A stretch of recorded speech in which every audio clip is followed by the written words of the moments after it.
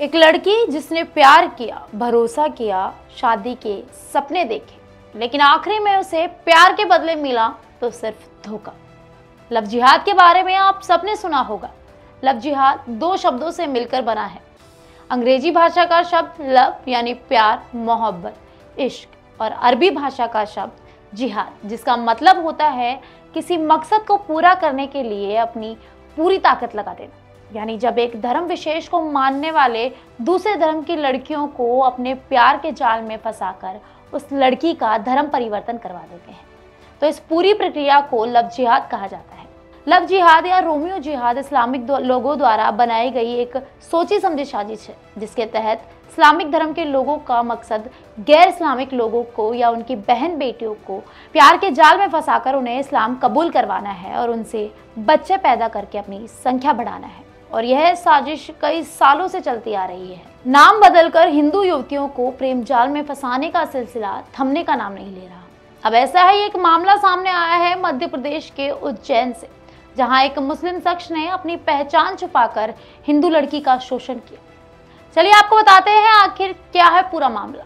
नमस्कार, आप देख रहे हैं द नगरी न्यूज़ और मैं हूँ साक्षी शर्मा आपके साथ। मध्य प्रदेश के उज्जैन में अपनी पहचान छुपाकर मुस्लिम शख्स ने चार महीने तक शादी का झांसा देकर हिंदू लड़की का शोषण किया।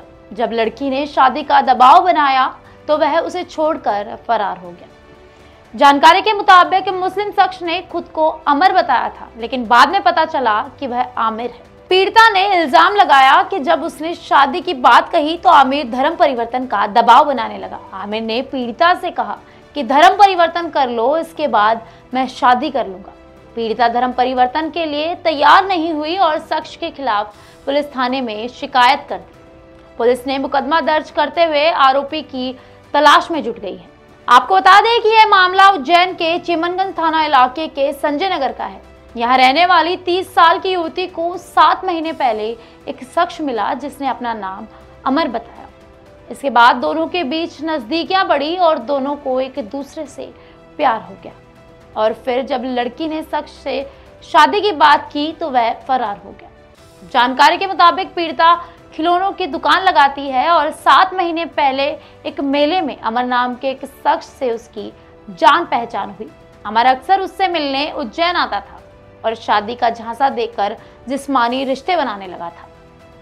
इसी जुलाई महीने में अमर अचानक गायब हो गया तो लड़की उसे खोजने के लिए नीमच पहुँच गई।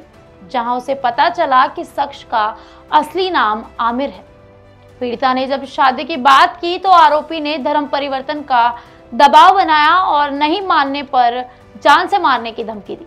इस पूरे मामले को लेकर चिमनगंज थाना प्रभारी ने कहा, युवती की शिकायत पर दुष्कर्म सहित दूसरे धाराओं में मामला दर्ज किया गया है और शख्स नीमच इलाके का रहने वाला है।